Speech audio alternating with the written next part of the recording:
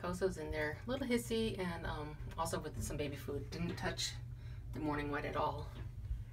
Um, I think he's supposed to be the one that gobbles, right? Food obsessed, and right now he's not eating anything. And let's see, we have a couple pees scooped, but that's it so far.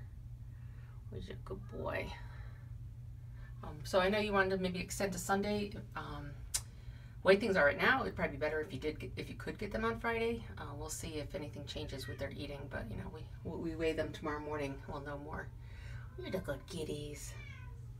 I was just with Misha, and she was purring by the time I left. You're the good boy. Kitty meow.